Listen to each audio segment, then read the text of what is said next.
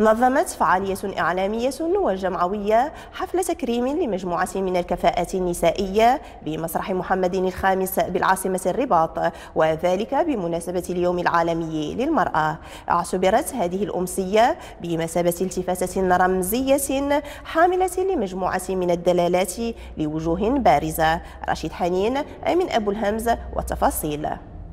نظمت مجموعة من الفعاليات الإعلامية والجمعوية حفل تكريم بمسرح محمد الخامس بالرباط تحت شعار ليلة الوفاء لنساء متألقات من بلادي.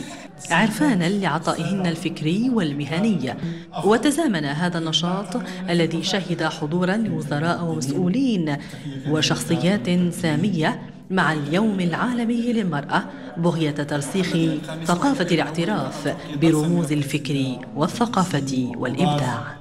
إنما الامتياز اللي كاين في هذه الليلة ديال الوفاء ديال اليوم وهو أننا كنخصوها لواحد الستة ديال النساء اللي هما متألقات واللي بصموا بالمسار مهني متميز على مدى 35 سنة إلى اليوم. آه وهذا الشيء كل شيء باش علاش كنديروه؟ كنديروه باش كنرسخوا ثقافة الاعتراف بكل رموز الفكر والإبداع ببلادنا. صدع نجم الدكتورة أسماء خالد في العاصمة الفرنسية بعد نجاحه في إجراء عملية جراحية لاستئصال ورم خبيث من دون استعمال التخدير الكلي لفنانة شهيرة اختير لها أن تغني خلال العملية الجراحية للاطمئنان على صوتها وهي منومة إيحائيا.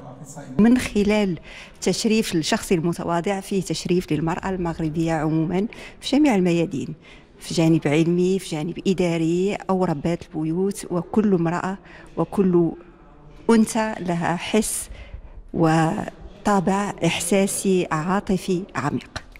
حضر المشهد الإعلامي الوطني في ليلة الوفاء عبر إحدى فعالياته البارزة والمتألقة التي تقلدت عدة مناصب مهمة وقادها مسارها الفني والحافل بالعطاء لتصنع لنفسها اسما ضمن حكماء الهيئة العليا للاتصال السمعي البصري. إنه لمدعاة للفخر أن أصبحت ثقافة التكريم والعرفان مترسخة في مجتمعنا. فبدون شك فإن هذه الثقافة أي ثقافة الاعتراف والتكريم هي جسر وثيق لبناء الثقة بالذات ورسائل حضارية للأجيال بأن المثابرة والجدة والاجتهاد والقيمة النبيلة وخدمة الأوطان مسالك تؤدي حتما إلى منصات التقدير والاحترام. تميزت هذه الأمسية البهيجة أيضا بالاحتفاء بإحدى الكفاءات والنماذج المميزة في مجال التربية والتكوين بأقاليمنا الجنوبية. اللي كيشرفني في هذا على أنه تكريم واحد نموذج من نساء الصحراء. ونساء الصحراء لماذا؟ خاصة إذا عرفوا الناس على أنني أنا ولدت في عمق الصحراء بين الخيام والجمال وشاءت الظروف أنني ندخلوا إحنا وعائلتي على ظهر جمال القلميم ومن قلميم شاءت الظروف باش نمشوا نقراو في النواصر يعني من الصحراء للنواصر وبعد ذلك الحمد لله يعني درست وتوظفت كأستاذة ومن بعد ذاك الشيء مستشار في التخطيط واستفدت كثيرا يعني لا كرموني معنا أنا أعترف يعني بالمجهودات الجبارة اللي دارها المغرب الناس ديال الصحراء. تضمن برنامج هذا الحفل تكريما خاصا للمرأة الدبلوماسية في شخص الدكتورة رجاء ناجي المكاوي سفيرة المملكة المغربية لدى الفاتيكان. احتفل الجمهور الحاضر أيضا بالفنانة التشكيلية المرموقة ملكة أجناي التي صالت وجالت بأعمالها في المعارض والملتقيات الثقافية في مختلف دول المعمور.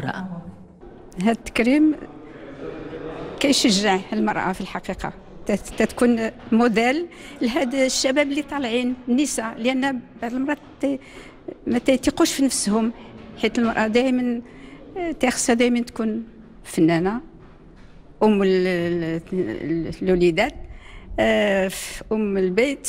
اذا صعيب باش الواحد يتبع واحد في الفن لأن صعيب ملي تكون تشتغل تيكون ذاتك كلها وراسك في الشغل. واكتمل عقد هذه الأمسية بالالتفاتة للسلك القضائي بتكريم السيدة مليكة بن زهير التي بصمت بجدها ومثابرتها على مسار مهني غني ومتنوع.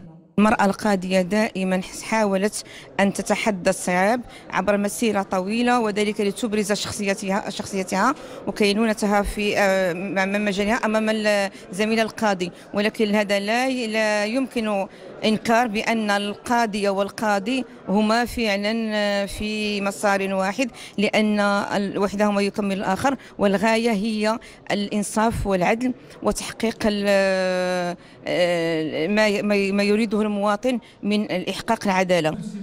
وفي انتظار الاحتفال باليوم العالمي للمرأة للسنة المقبلة بحول الله دامت المرأة المغربية شامخة في مصاف المتألقات بعطائها وسخائها متطلعة لغد حافل بأجمل المتمنيات.